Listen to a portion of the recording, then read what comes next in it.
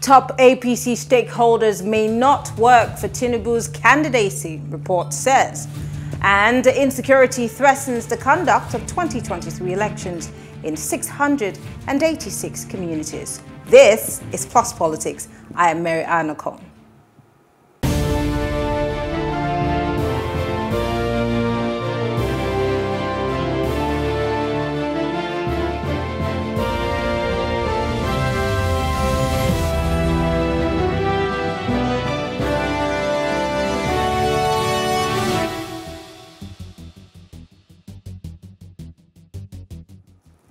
There are feelers that some chieftains of the All Progressive Congress APC who are on one way uh, and or the other unhappy with the presidential candidate of the ruling party, Asiwaju Bola Ahmed Tinubu. May, they may either sit on the fence or work against him come 2023 election. Now, media reports say that some stakeholders of the party fell out with the former Lagos State governor as he clinched the APC presidential ticket during the June 8, 2022 primary elections. Recall that prior to the party's national convention, which produced Asiwaju as APC flag bearer, the national chairman of the party, Senator Abdullahi Adamu, had announced Senate President Ahmed Lawan as the APC consensus presidential candidate. The move was, however, swiftly antagonized by some governors and the party members believed to be loyal to Asiwaju who insisted on a southern presidency. Well, joining us to discuss this is Opunabor Inko-Tariah. He's a civil rights advocate, and Okewoye Sharafa Omoyele uh, is a legal practitioner. Thank you so much, gentlemen, for joining us. Good evening, Marianne, and uh, good evening, Nigerians. Great. Uh, Mr. Okewoye, can you hear me? Yes, it's my pleasure to be on the program. Great. Um, I'm going to start with you because you obviously um, have some alliance with the All Progressive Congress. But tell me, um, what do you think exactly is going on within the party right now? Because as there are feelers that even the national chairman um, feels left out of the presidential um, campaign committee. Yes, you see, must understand that when we have a like the one that put Asiwaju Bola Ahmed as flag bearer of it, we should expect little, little Instagram, which I was at, that the leadership of the party challenges, and we are on top of the situation.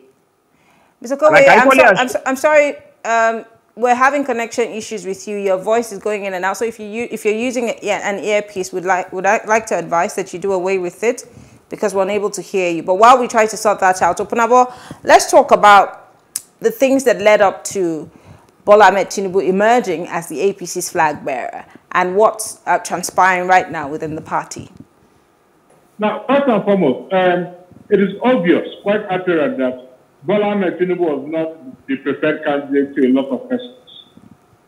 First, we are talking of President Muhammadu Buhari himself, and I can bolster that assertion based on his outburst uh, in one of the western states. Then you talk of um, the, the national chairman of the party, and few other persons. But because Bola Tinubu is seen as uh, a political god to a lot of persons, you know, so what really happened was that aficionados came together to ensure his emergence as the presidential candidate. And I can tell you that this led to a lot of lethargy within, excuse me, within the party. A lot of people are not happy. And what festered that situation was that Bola Ahmed Tinubu, I think, from, from what I glean, is becoming vindictive. All those who were adverse to his emergence as the presidential candidate are being treated with levity. And that is why, even before now, the national chairman of the party had to cry out to say he has been sidelined, he has been marginalized. And that is why you have the problem you're having right now in the party. It is more or less like a divided house those who are still loyal to Bola Ahmed Tinubu and those who ensured his emergence as a candidate of the party and those who were not loyal to him but ordinarily would have accepted him, begged for his, in quote. Um, are you still there? High-handedness. A lot of persons, and that is why a lot, and that is why a lot of persons uh, today are a little bit listless when it comes to the uh, uh, ambition of Bola Ahmed Tinubu, and I think that has created a schism in the party. Let me let me talk about the presidential um, campaign commi commission. As much as we hear that the party national chairman says that he's running, these are the words of the national chairman, that he, Bola Tinubu, is running a one-man show. We also hear that the vice president, Yemi Osinbajo, um, opted out, uh, according to reports. In fact, an APC uh, chieftain, Dr. Martin Zappe, spoke to a newspaper, National News Daily, uh, saying that the vice president actually rejected the offer to be included uh, in the recently released APC Presidential Campaign Council. So rightly, as you have said, there are certain feathers that have been ruffled. But the vice president, one would think, um, who somewhat is, you know, someone from Lagos who also has some close relationship with the presidential candidate. Does that not bother you? No, it doesn't bother me at all. I mean, it is, it is uh, expected. Because, uh, like I said, Bola Tinubu is being, right now, the perception is that he's being vindictive. Don't forget the snide comments he made about the vice president when he was asked if um, concerning his son, and he said his son was not going to contest and so on. And don't also forget that the vice president was under a whole lot of there was this outpouring of vials of vitriol against the vice president or the vice president uh, for daring, so to speak, to contest. And so the vice president knows that there is no love lost between uh, he and Ahmed, uh, Ahmed. He knows too well. And so there was no point deceiving yourself because lukewarm acceptance is much more bewildering than outright rejection. So it, I think it's on that premise that he just felt, what will I be doing there? And this is the man that is the sitting vice president, and tomorrow, by the special grace of God, I say special grace of God, because some are dying of by the special grace of God, will become a former vice president. The only person that will be above such a person is the president of the Federal Republic of Nigeria. The man will be entitled to uh, all the perks of office, so to speak, until the day he dies as a former vice president when eventually he exits. So what else again? Why will he have to com- why will he have to compromise his dignity? See, these hmm. are some of the burning questions and some of the issues that will be flitting through his mind. Why do you have to go and compromise my dignity? What to have? Even if today I'm a member, and don't forget, the issue of 2023 presidential election will be local based. So being a member of the presidential campaign council is just a thing of prestige. It is actually those that are going to do the work and those at the local government level. And the vice president does not need that prestige. The only prestige, the only feather you can add to his cap is being the president of the country. What okay. other prestige does he need? So a man who has that dignity will say, let me not go and compromise my dignity. Mm. Well, what else do I need in this life? If Tinubu becomes the, the president of the Federal of Nigeria tomorrow, so be it. If there is nothing he can do, he cannot stop my allowances, he cannot do anything. Even if tomorrow, because if he abuses office by telling whoever to stop the allowance, which will be a subject of litigation anyway, because the vice president himself is a professor of law and a senior advocate of Nigeria. Hmm. So even if he goes ahead to abuse his office to say, stop the, uh, uh, uh, the entitlement of Mr. Vice President, the issue is that be, because the vice president to not to speak is one man that is highly respected in okay. the country, highly respected in the country. So even if you stop it, he knows that one is for a period, maximum of eight years. If at all Tinubu wins, which I strongly doubt, it's going to be a maximum of eight years and a subject of litigation. But then after which he will still be. That will not in any way affect his integrity okay. and credibility and dignity. So okay. that's why he will just tell you no. And he cannot be seen to be running around, running around. In, in the, the, the, the corporates can never be innocent in the garden of fowls. In okay. the garden of It can never be innocent. Okay. So there's no point losing yourself to say you want to be a member of presidential council when you know that you are being accepted in a lukewarm manner. Let me bring Mr. Moyele back into the conversation. Mr. Moyele, you've heard what Opunabor has said, and of course, I'd yes, like, I'm, I'm, I heard what he said. I'd like to, I, I, again, I'd like to hear from you why you think, uh, or why rather, the national chairman would think that Tinubu is running a one-man show, as opposed to those who he has released in the list of people that might make the presidential uh, um, campaign council. Well, so my mind I think um, what people are saying about national chairman of APC um, claiming that Asiwaju Bola Ahmed Tinubu is running a one-man show is not true. Because it's going to be practically impossible for a man to down and draw the list of uh, distinguished Nigerians of about 400 in number. That is not possible. I'm aware that governors, party leaders, as well as members of the Executive Council and the party hierarchy were involved in generating the names that constitute Presidential Campaign Council of APC. And let me say this, it's expected when you have a beautiful bride for everybody to be interested in partaking in achieving the goal and desire of that project. And that's why we are having people saying what they are saying. But I confirm to you, it's not true. At the presidential candidate of APC, eh, hello? We can hear you. Go ahead. We can hear you clearly, my brother. Exactly. He's a tested, trusted, and experienced politician who has paid his dues. And in area of constituting or composing campaign committee or campaign council, it's not a lily liver. So I'm saying this for us to have this understanding that it's just the figment of the imagination of those who are trying to run down the president candidate of APC. If you look at the people that I'm sorry, I'm, I'm, I'm sorry, Mr. I'm, I'm sorry, Mr. Um, Omoyele, I am. Um, you're telling me, you're telling me that the national chairman and members of the party which or who voted for Bola Tinubu are are jealous, are detractors, are people who are trying to bring him down. I'm, I'm, I'm trying to ah. understand why would the party go through all that trouble that. to have him as their flag that. bearer and then, in your words, try to bring him down? Please make it make sense. I'm trying to understand you. I, I, I'm not saying that. What I'm saying is that national chairman of APC cannot and did not and will not claim that Asiwaju Bola Ahmed Tinubu was running a one-man show because every party leadership, party party leaders and stakeholders were involved in the selection of members of PCC of APC.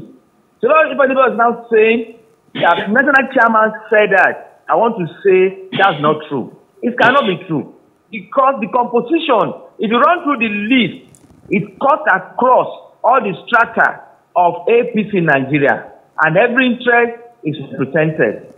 So it is clear that those who are saying that are the adversaries, they are the opposition that are trying to create problems where there's none. I'm confirming to you, in APC of today, there's no division. Okay. All of us are one, and we are working towards ensuring that Bọ́lá Ahmed Tinubu becomes the next president of Nigeria. Okay. Okay. Now, just as I said before we lost you, um, an APC chieftain, his name is out here in, you know, full print. Uh, Dr. Martins Abe, who spoke with the National Daily, said, and I quote, that the vice president, Professor Yemi Osinbajo, actually rejected an offer to be part of the PCC. Again, the vice president and um, one of the presidential aspirants, um, the former Minister of Transportation, um, Mr. Rotimi Amaechi, both of them do not have confidence, reportedly, in the Bola Ahmed Tinubu presidency, hence them sitting on the fence and not having anything to do with the well, campaign. So I'm just, I just want to ask you, what do you think the relationship okay. is between these two men and your presidential candidate?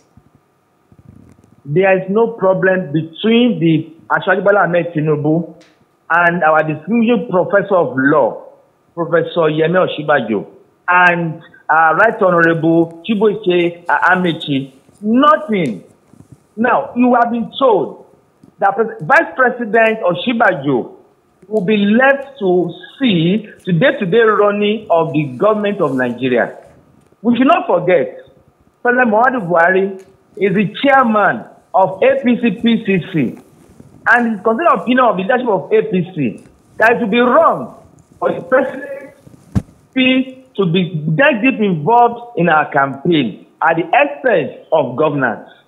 Now said it will be better for vice president to be allowed to be overseen the day-to-day running of Nigerian government, which I think is reasonable, which I think is sensible, which I think is responsive to the reality of the Nigerian situation. And in the case of Right Honorable Chibuke Amechi, I'm confirming to you, he has no issue, personal, official, or anything we can think of with either Senator Bola Ahmed Tinubu or the party or the PCC. Nothing okay. that is not included now does not mean that me that is not consulted. The list generated from River State was submitted by him to the national leadership of the party. Okay. So he's involved. Okay. Don't forget, the last time he was the DG of our campaign.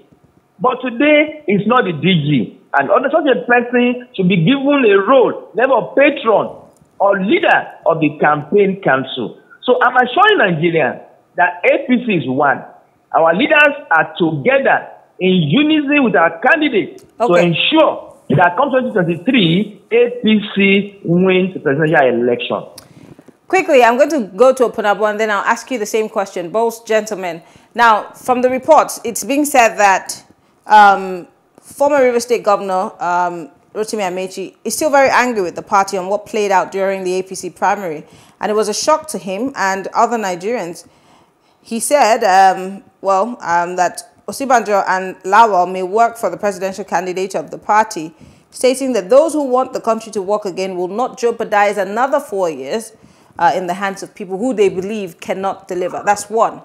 I want you to quickly comment on the video that recently emerged of your presidential candidate. Now, most people uh, had commented on the fact that he'd, he'd been disappearing from public events um, and his vice president had been the one representing him. And of, course, the one that raised the most alarm was the fact that during the peace pact signing, he was nowhere to be found.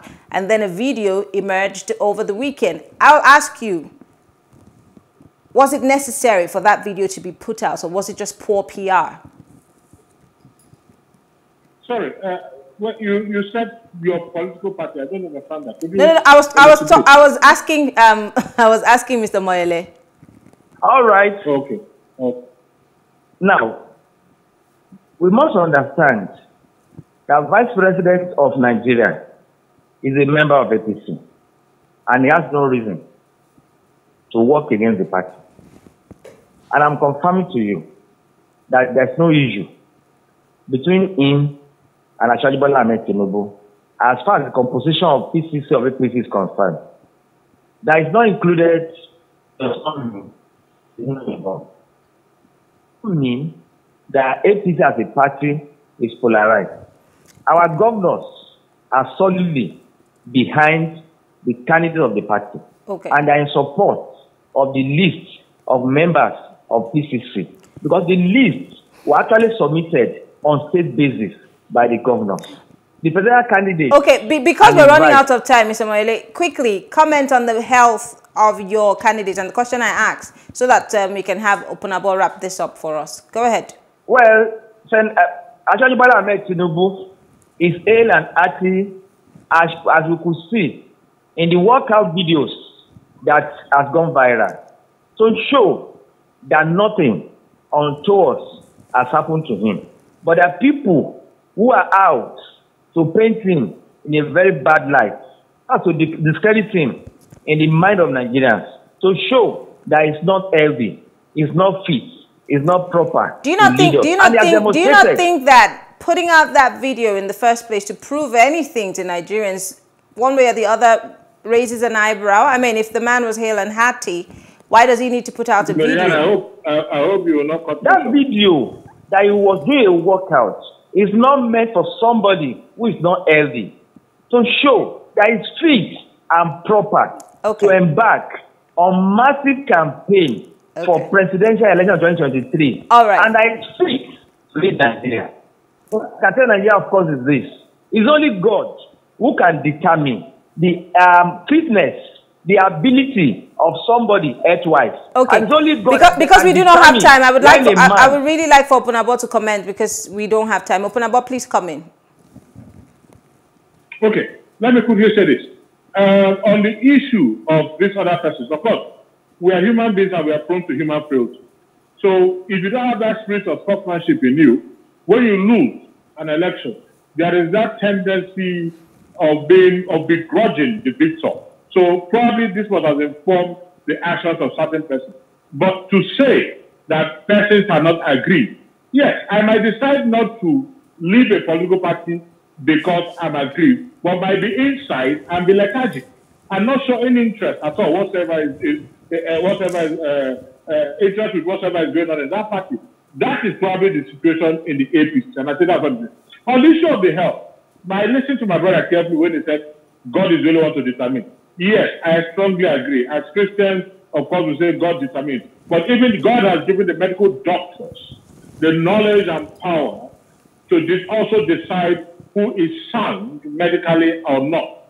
Now, I will not go into the veracity or apocryphalness of the claim of uh, my brother concerning the issue of the unity in the party.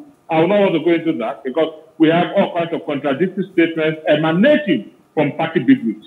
But having said this, the issue of Bola Ahmed Tinubu's health, I can tell you and I can state unequivocally, is the fact that the man is not medically sound, and there are so many issues to bolster this assertion. We are all aware, we are cognizant of even when uh, uh, Bola Ahmed Tinubu was visited in London by even the vice president when he was in hospital. Now, a lot of persons might dismiss this by saying nobody, there is nobody that doesn't fall. But there is a great distinction. I'm using this hypothetically. I'm not saying that is what Bola Tinubu is suffering from, please so that I am not quoted out of context. But there's a great distinction between fever, there's a great distinction between malaria and cancer. So you cannot say everybody must fall sick. Nobody is insulated from sickness. Therefore, you're going to compare the man that has cancer with the man that has malaria. For crying out loud, what is going on now dredges up the solid past of Yaradua. What happened to Yaradua? We all saw where Yaradua was allegedly playing squash and uh, the order was orchestrated by IBB, sorry, uh, uh um, uh, Olusegun Obasanjo, who, when the, the controversy surrounding the health of Yaradua was placed on the front burner, in order to dismiss it, mm. they, now, they now showed video of Yaradua playing squash. And we all knew what eventually happened. We also saw recent, in recent time, which is still ongoing, present, contemporary, that of Muhammadu Buhari, who is constantly, who has constantly embarked on the shuttle to the US, to the UK and Saudi Arabia for medical reasons. We have to now, go. Tinubu, we have videos of Tinubu where he was looking for a fail in the United Kingdom and okay. the United States and so on. Now, you have that picture of Bola Ahmed Tinubu to go. in order, in order to polarize the argument that Bola Ahmed Tinubu is ill. Otherwise, why do you have to publish that? Why do you have to show that uh, to, to the world just because you want to dismiss the fact of his illness. But we all know, even at the PCC uh, con, uh, uh, inauguration that was postponed, on what grounds are you going to postpone the inauguration? Bola Ahmed Tinubu is sick. Okay, all right. All right, open up. We, we have to go. We have to go. We hear you, but we have to go. Our time is fast spent. All right. Thank you. Thank you. Thank you very much. Opunabor Inko-Tariah is a rights advocate, is a political analyst. Okewoye Sharafa Omoyele is a legal practitioner and is also a representative of the APC. Thank you so much, gentlemen, for being part of this conversation. Thank you, Marianne, and good evening, Nigerians. All right. Well, thank you all for staying with us. We'll take a short break. When we return, we'll be talking about the level of insecurity in the country and how it might play out during the 2023 election. Stay with us.